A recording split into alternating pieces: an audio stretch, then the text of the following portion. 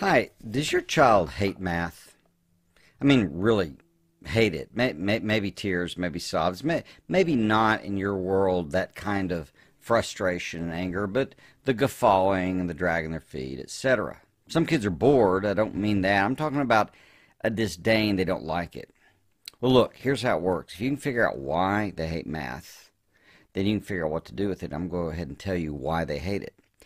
Uh, children hate math because they're no good at it. It's kind of a human thing. Most of us, except when we're a little demented for some reason, don't like to do things we're incompetent at.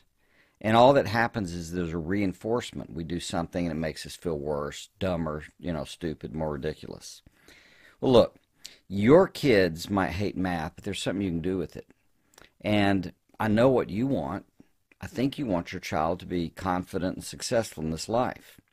Whether it's with math or not is another part of the story, but let me share with you my recommendation of exactly what to do. First, option one. If your child is not good at math and so hates math, then what you want to do is get them good at it.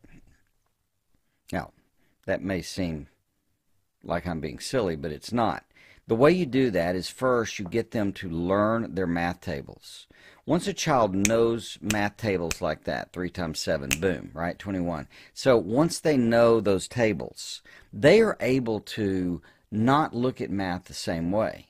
It's a very similar thing with foreign language. When you have a good enough vocabulary, you can start looking at the grammar. When you can instantly recall those math facts, it is powerful in their soul because they feel like they can do a piece of it and start making sense of how it works. Most kids that stay having to count three, they never get there. It just doesn't work. The other option in this endeavor to get your kid to uh, do well at math would be, or the other piece of it, would, would be to get your child to work at a pace he or she can. In other words, math is progressive. It's kind of built in, you know, one level to another to another. This is what makes it frustrating. They're always introducing new things to uh, students. Well, if you understand that, then the trick is to slow down when you're in difficult material and just go over it again and again and again. If a child did the same lesson every day, in a few days, he or she would be completely bored because they'd be totally competent at that lesson. If you go back and nail it down as they go, it makes all the math doable as they progress. So those those two pieces.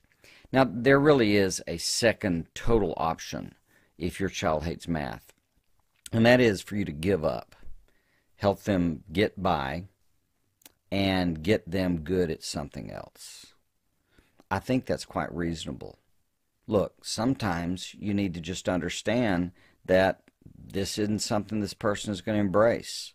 I wouldn't give up until they learn math facts and you've worked with them for a while and try to build their uh, confidence and their competence. But if indeed you know your child and you do, you can give up. You can help them get by. They've got to do enough math to do well. But the trick would be replacing it with something they can really excel at. Don't let them be mediocre at everything because they were not designed by nature, God, or anybody else you can imagine uh, to simply be mediocre at everything on the planet. Everybody has something they can be incredibly good at. Find that for that child and help them become good at it. So that is a context for confidence and success in all kinds of academic, relational, and personal endeavors. Hope that helps. Off to learn. Thanks.